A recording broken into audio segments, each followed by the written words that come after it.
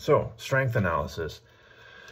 This one's pretty straightforward, very similar to gratitude, and, and overall, we're we're really starting off on smaller tasks here. Um, the tasks will kind of progressively go as we get more comfortable, but strength analysis, as it says in the uh, the instructions, focus on something that you bring to the table. Focus on something that you're good at. Focus on something that, um, even if you're not great at it, you still bring to the table, because this is this positive mindset work is not about affirmations of then feeling inauthentic or uh, forcing ourselves to be positive or to be optimistic.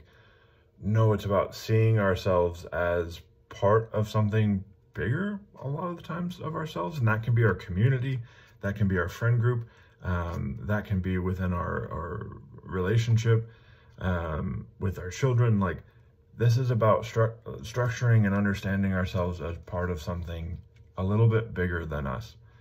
And so strengths analysis is what what do I bring to the table? Just find one thing today and then engage in that and see if you can sort of heighten it or double it, triple it, quadruple it. I don't know.